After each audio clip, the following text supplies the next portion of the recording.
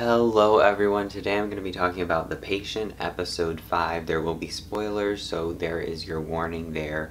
This episode was probably the most intense one yet, and I'm just so impressed by how this show has managed to keep the amount of locations and the amount of characters and really the overall storyline pretty simple. I mean, almost every scene has taken place in the basement room and as the episodes have gone on we've kind of branched out a little bit more and gotten to see more points of view and in this episode we get to see a lot more of Sam and he has now gone to visit his ex-wife and they kind of seem to have a sweet relationship. I don't really know why they got divorced. It doesn't seem like she knows that he is a serial killer, but I don't know, maybe she does. And it seems like, weirdly, like, the scenes with his wife seemed like a sort of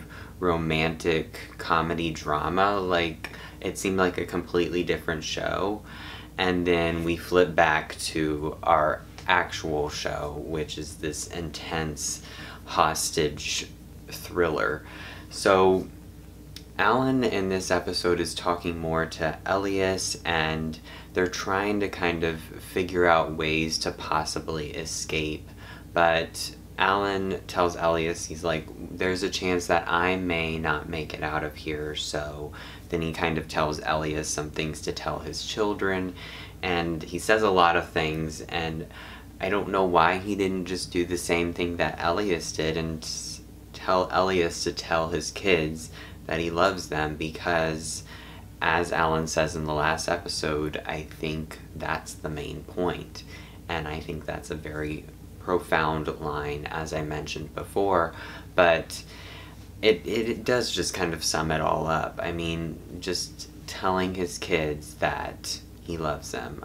Obviously, spoiler alert, Elias won't be the one telling Alan's kids anything because Elias doesn't make it out alive. At least I don't think he does. So Sam comes back to his house with the chair. I don't know how he managed to carry that by himself, but anyways, he gets back to the basement sort of room and he's saying how it didn't really help talking to his wife. You know, he says it was nice talking to her, but it didn't really distract him at least not long enough, but there gets to a point where Sam's like, you know what, I'm just gonna kill him.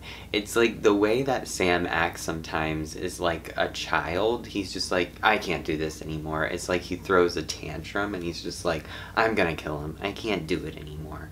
Um, but he does get pretty close to killing Elias, and then Alan's like yelling for his mother to come down here. He's like, and let me just say, Steve Carell has been great in this show, but I mean, this episode he was quite exceptional in. And the actor Dom Domhnall, I don't know how to say his first name, Domhnall Gleeson, who plays Sam, also does a great job. But I mean, Steve Carell in this episode was just excellent. But anyways, Sam's mom comes downstairs and is like, Sam, you're supposed to be protecting me this is not protecting me. and it's just so weird. I don't know what she's doing. Later in the episode, when a similar thing happens, she doesn't come downstairs and she's just kind of like in her bed, just kind of sitting there. I don't know if she woke up and a little bit too late and was like, well, I guess it's too late now, or if she's just kind of afraid of Sam. We find out that they're at least Alan suspects there's a little bit more to the story with Sam's father, and I definitely think that's true. I don't know if Sam killed his father or if his mother killed his father or if he just left. I mean, did he do we know if he's alive or not? I'm not really sure. So Elias asked Alan to kind of bring him into the therapy session, which I think is a maybe a good idea in theory, but not under these circumstances. And I feel like Alan should have known that wasn't going to work out. I think it was the last episode where Alan wanted Sam to turn off the sound machine and I'm like, okay, Alan, why are you doing that? I know you like want to talk to Elias and that's like probably really painful for Elias to be tied up or you know have tape around his eyes and all he's hearing is this loud sound machine. But at the same time that's better than him being murdered. But Alan comes up with a reason to bring Elias into the therapy session again at that moment when he's like bringing Elias in. I'm like oh my gosh is he gonna already kill him now but he didn't yet. But anyways he brings him into the session and it's just like even if Sam wasn't a serial killer this would be such a hard conversation to just talk to somebody that you don't get along with. Like that's already hard enough. And to actually like hear them out like come on Alan. Like what are you thinking now just regardless of Sam being a serial killer it's that's hard enough but Sam tries for a second. He's like, I mean, you can sort of see in this picture, he's like scrunched in his chair, just like trying to listen, sort of, but that doesn't work. and Sam's just like, I can't do it, I can't do it. And he's just kind of freaking out. And I was just like, Sam, calm down. And then he just kind of like attacks Elias and strangles him. And that's when Alan is again yelling for Sam's mother to come down, but she does not come down.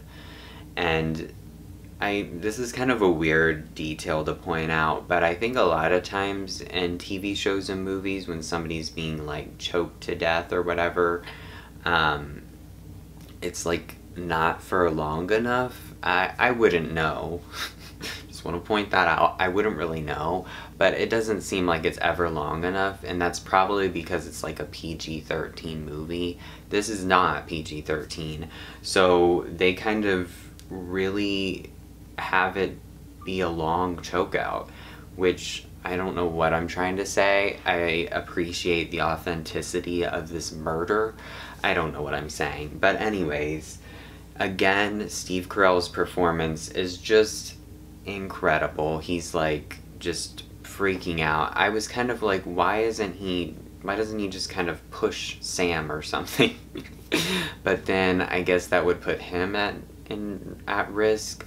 But then at the same time, it's like, okay, Alan, what are you trying to do? I know he's just trying to get out, but like, I don't know. I feel like he could have done something, but at the same time, he was probably just in absolute shock and terror and fear and that was a lot to take in. But we did kind of get another scene of Sam separate from Alan. It's interesting seeing these scenes with Sam, and he was kind of in his room listening to music, doing some other things that I don't really know what that had to do with the plot. But anyways, I think he, it was just showing he was trying to distract himself from wanting to kill Elias. But that's pretty much what happened in this episode. Now there is a dead body in the room.